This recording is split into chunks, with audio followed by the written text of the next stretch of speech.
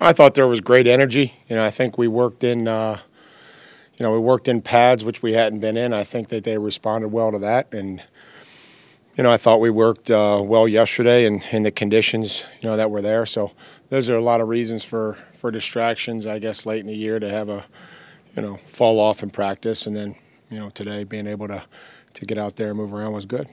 Was there any thought to going inside today and keeping warm, or? No, not not, not much at all. About as much as there was yesterday. What do you do, Mike? It's still 48 hours to kick off, but what do you do between now and then? And can you almost paralyze yourself by just worrying about every little thing, or, or can, can, you not do that in the playoffs? No, I mean I don't think you can ever do that. I don't think we want to try to paralyze ourselves, but I think as coaches, it's just trying to, um, you know, be be ready, be prepared, and um, you know work through different situations and, and never try to predict on how the game is going to play. I mean we we've won games a bunch of different ways. Um, you know we've been up and we've been behind, and um, you know, so we'll just have to to be ready and make sure that um, you know we have everything covered. It's only a couple hours, but do you do anything Saturday to kind of fill up that time? No, you know that's kind of right in the middle, um, where the 3:30. You know, we haven't normally done something. Um, I, I know that guys will come over here. You know, we do. You know, the proximity in which the stadium is, and you know, as nice as the, the facility is to use the tubs, I know there's a lot of guys that do that, and then we'll have treatment available. Um, you know, probably just do a, a, quick, you know, special teams review in the morning, give give some breakfast, you know, a quick squad meeting. But but at that point, it's just a fine line on, you know, letting these guys, you know, kind of get away, rest, and, and get their minds right, ready to play. So you release them from a hotel at a given time, and then yeah, I mean, they, there's guys that you know, I mean, those that that'll stay at the hotel. I mean, that's kind of everybody's choice. You know, there'll be guys that will stay there because they like the peace and quiet of it. Um, I'm sure there'll be guys that go home. I'm sure there'll be guys that, that come over here and, and, and relax here, or, you know, are getting treatment. Been, Hendrickson's been has been cleared to play. Is he a guy that they keep that they rush from a set spot, or they move him around to try to create matchups? Uh, he's been over there predominantly um, on our left side.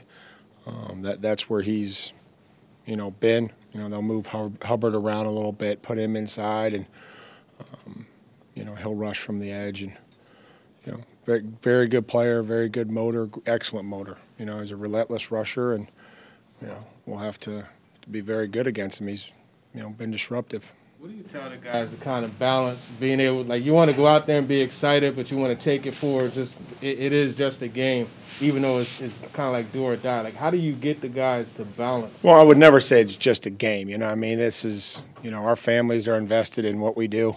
Um, you know, this is all we know. Uh, this is you know our players are, are deeply invested at this point. So you know this is this is more than just a game. This is an opportunity to we've put ourselves in a position. Now you have to you have to win to to move on. So, but you know we haven't really.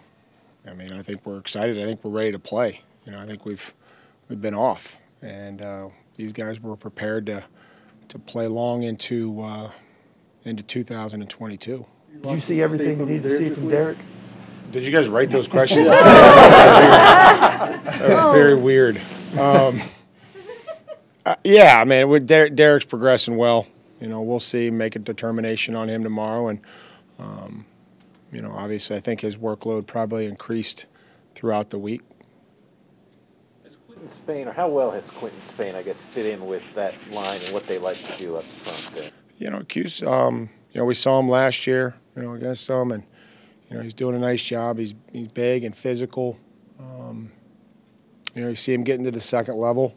Um, so, you know, it'll be a challenge for us, you know, as far as, you know, being able to, to try to get around him and, and when they throw. And then obviously, you know, uh, in, the, in, in a zone scheme that they have, he does a nice job.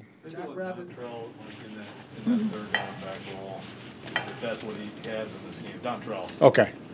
How, what did you say that I? How do you feel about him in that role as you know as the quote unquote third down back?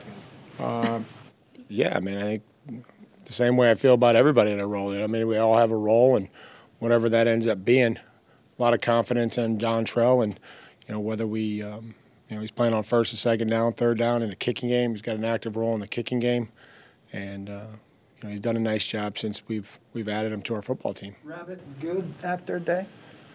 Uh, not going to um, rule anybody out, so I'll I'll nip that in the bud there for for John, wherever wherever he is. But no, there will be nobody that will be listed as out.